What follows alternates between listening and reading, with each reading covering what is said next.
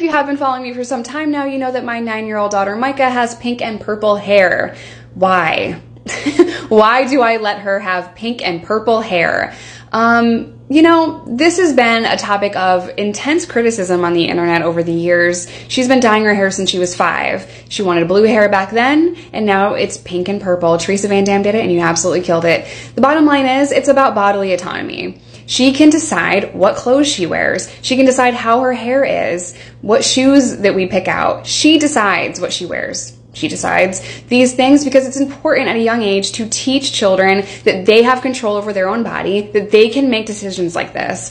The only time I step in when my kids want to wear something is if it's like 20 degrees out and they want to wear shorts. Then I'm like, whoa. Maybe try some pants. It's going to be cold. Other than that, I let them decide these things. I think it's so important that we teach bodily autonomy and decision making skills in young people, and her hair is healthy and it's fine.